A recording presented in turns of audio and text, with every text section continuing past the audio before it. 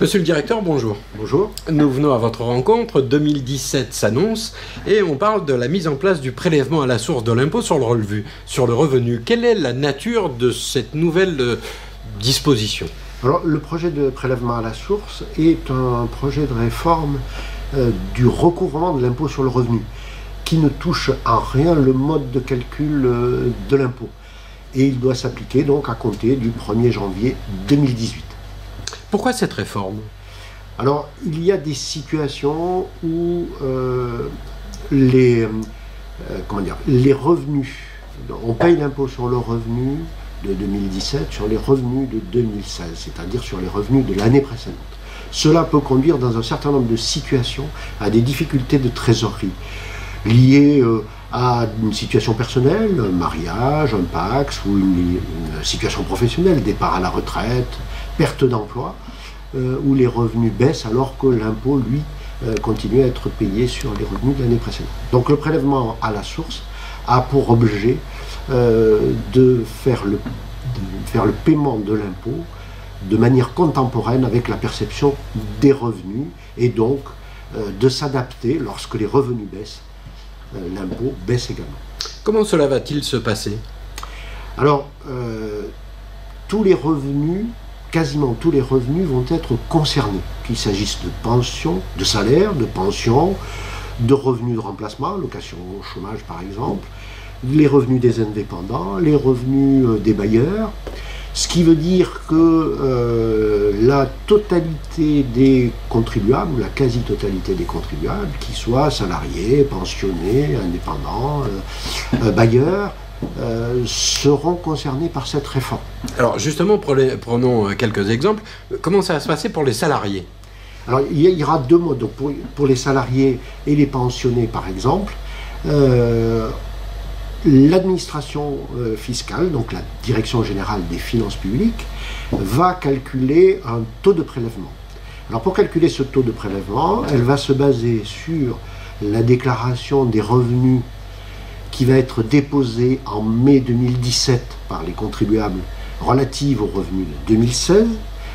Elle va calculer un taux de prélèvement qu'elle euh, signifiera aux contribuables sur euh, l'avis d'imposition d'imposition de 2017 qu'il- que chaque contribuable euh, salarié euh, pensionné recevra à l'automne 2017.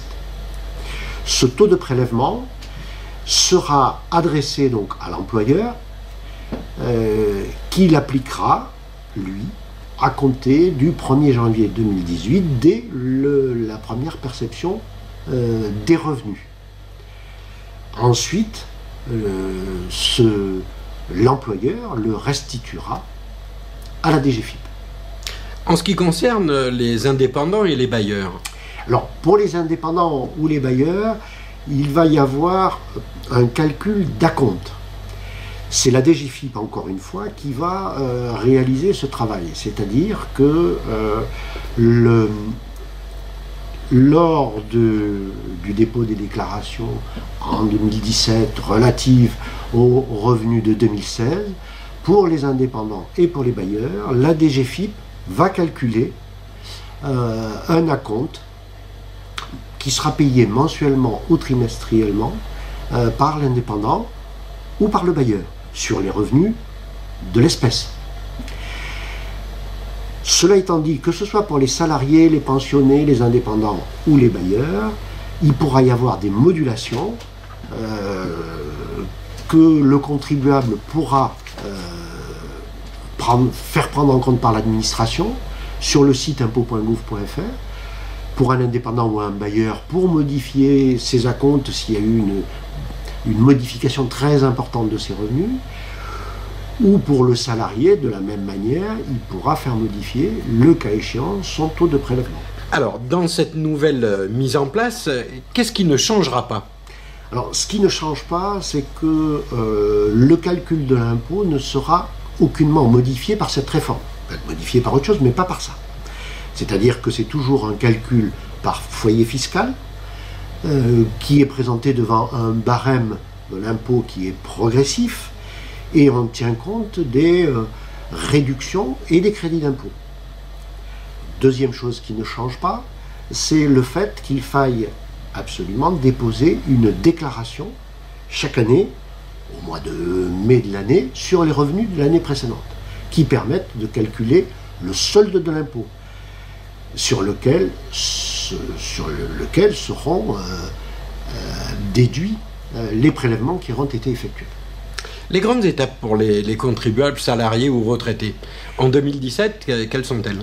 Alors, en 2017, la DGFIP va calculer un taux de prélèvement à partir de la déclaration euh, reçue au mois de mai 2017 sur les revenus de 2016.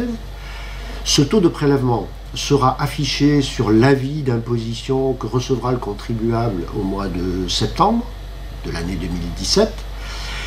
Et euh, l'administration fiscale adressera ce taux de prélèvement à l'employeur ou à l'organisme de pension. Et euh, ces tiers versants euh, appliqueront le taux qui leur a été adressé à compter du 1er janvier 2018 sur les premiers revenus qui seront versés en 2018. Alors, on voit qu'il y a un souci majeur. Comment la confidentialité sera-t-elle garantie? Alors, par plusieurs... La confidentialité sera garantie de plusieurs manières. La première chose, il faut savoir que la Direction générale des finances publiques est l'unique interlocutrice du contribuable quelle que soit la difficulté qu'il ait sur le prélèvement à la source, le contribuable devra s'adresser à la Direction générale des finances publiques et non pas à son employeur. Deuxième chose, le taux qui est calculé est un taux qui recouvre des situations familiales très différentes. On peut avoir un salarié euh, sans enfant avec un revenu euh, d'un certain montant et qui a un taux de 7%, euh, un couple avec deux enfants avec des revenus inférieurs qui aura aussi un taux de 7%, etc. Donc le taux de 7% ne sera pas signifiant au regard de la situation de famille de la personne. Deuxième élément, il y a la possibilité pour tous les salariés d'opter pour ce qu'on appelle un taux neutre. Cela veut dire que euh, si le salarié ne souhaite pas euh, que son taux euh, qui est calculé par l'administration soit connu de son employeur, il pourra demander l'application d'un taux neutre dans certaines conditions, mais il devra bien évidemment, si ce taux est inférieur au précédent, verser la différence à la DGFIP directement. Ça, c'est une deuxième mesure. La troisième, dans un couple, il peut y avoir des différences de revenus entre euh, les deux membres du couple. Et donc, le couple pourra, s'il le souhaite, demander l'application d'un taux différencié en fonction des revenus de chacun. Dernier élément, ce taux, il y a une garantie de confidentialité qui est demandée à l'employeur, qui n'aura pas le droit de le divulguer, et des sanctions pourront être appliquées s'il le faisait, de manière intentionnelle. Justement, la divulgation intentionnelle du taux pour l'employeur sera-t-elle sanctionnée? Oui, elle pourra l'être. Vous connaissez déjà de... Non, pas à ce stade. Que se passe-t-il pour les revenus de l'année 2017 Parce qu'on a bien cru penser à un moment que peut-être il y a une année où on ne paierait pas d'impôts. Ce n'est pas le cas. Absolument pas. on payera évidemment euh, des impôts chaque année. Alors, en 2017, on va payer les impôts sur les revenus de 2016. En 2018, on va payer sur les revenus de 2018. En 2019, on va payer sur les revenus de 2017. Cela étant dit, en 2018, il n'y aura pas double paiement d'impôts.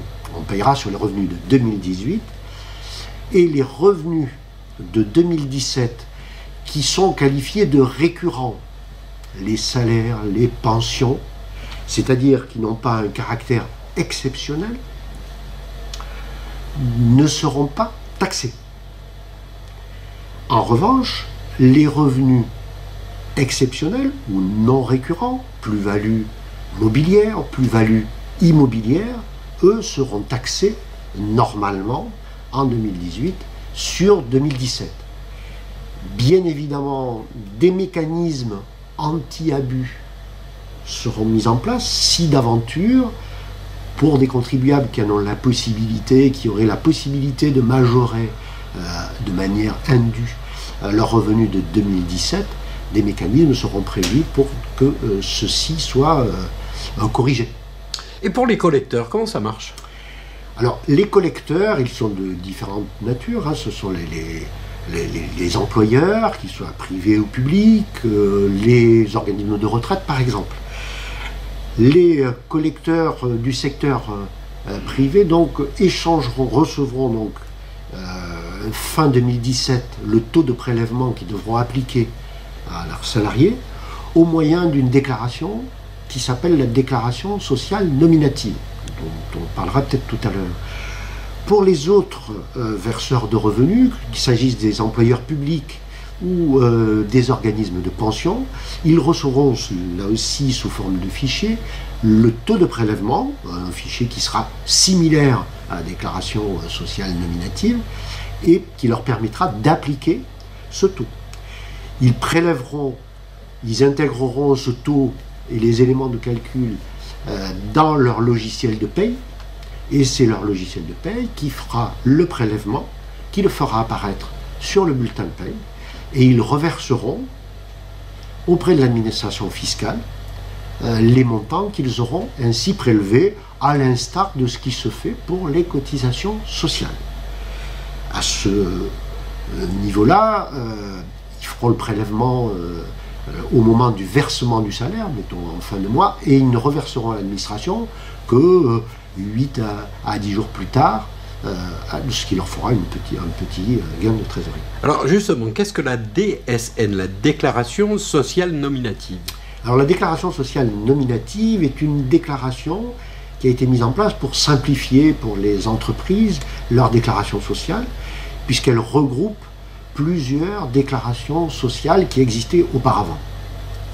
Donc cette déclaration sociale nominative euh, se met en place progressivement, elle sera généralisée à l'été 2017, et donc elle, euh, elle est un moyen d'échange entre euh, l'administration sociale au cas particulier et les entreprises du secteur privé pour déclarer leurs cotisations sociales.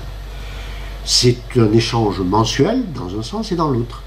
De la même manière, donc le prélèvement à la source sera raccroché à cette déclaration, le, prélèvement, le taux de prélèvement allant de l'administration vers euh, l'employeur et le montant prélevé allant de l'employeur vers l'administration. Alors, bien que vos explications euh, soient claires, il y a-t-il un dispositif pour les gens qui n'auraient pas bien compris? Oui, alors le, dispositif euh, est un petit peu, euh, comment dire, est assez simple à la mise en œuvre. En revanche, il y a bien sûr des explications pour chaque cas de figure, et pour ce faire, donc, il y a un site qui s'appelle prélèvement à la source.gouv.fr qui peut répondre à toutes les questions que vous vous posez. Eh bien écoutez, monsieur le directeur, je vous remercie et je vous dis à très bientôt. À très bientôt, merci.